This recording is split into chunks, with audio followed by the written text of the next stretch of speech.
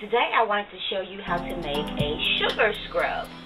Now, sugar scrubs can be used for not the face because it's a little bit too abrasive, but they're basically used for the foot and for cellulite on the body. Um, today we're going to be using plain white sugar, but you can also use brown sugar. You can use uh, salt, any kind of salt, um, and you can use any kind of oil. But today we're going to be using coconut oil. So basically all you do is, let's put our sugar in first. I'm going to add some sugar, and I have this bowl so you can see us mix it. I have a clear bowl. I'm just add a little bit of sugar. I'm going to add just a little bit of coconut oil.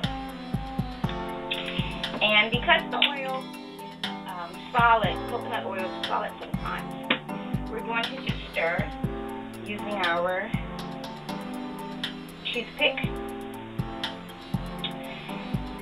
Um, for this recipe, you can also add essential oils. You can add tea tree oil, which would um, help to fight fungus.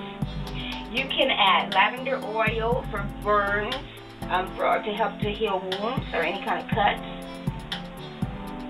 You can also add herbs to this salt recipe. I have here some mint from my garden. I'm just going to add a little bit of mint from the garden just to show you that you can add um, herbs to this mixture. This mint smells really good. Um, I don't have my essential oils with me today for this um, particular recipe, but you've seen me in the past add a couple of drops of essential oils. Um, like I said, the tea tree oil will be wonderful for this recipe because it's for the foot. And if you have any kind of athlete's feet or anything that needs to be cleaned or healed, that would be the essential oil that you would use.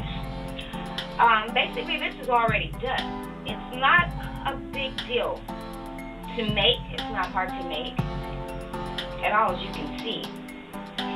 Um, the reason why we want to make this sugar scrub is because it it will um, once you use it in your pedicure and you're you're getting a pedicure and you're cleaning your heels, this will remove dead skin, and it's better than using um, a razor.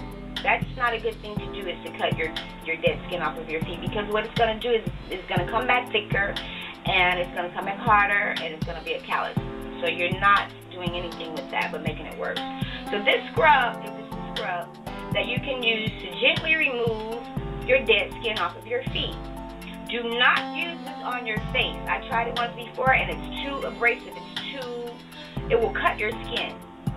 So it's too abrasive for the skin, but it's excellent for the feet. Um, I have a recipe for cellulite and I'll give that to you in another video.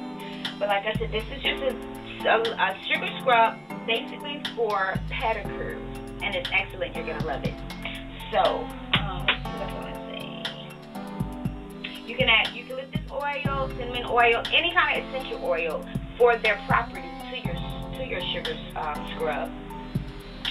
Basically, that's it. These recipes are very simple. They are come from household um, items you already have at home.